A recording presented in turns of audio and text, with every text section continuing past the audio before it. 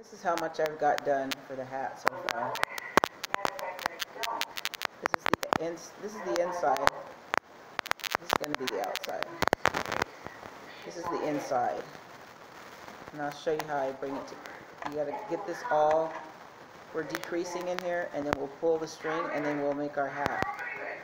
Okay, and we'll show you at the end. And we also have these strings which we have to tuck in and add some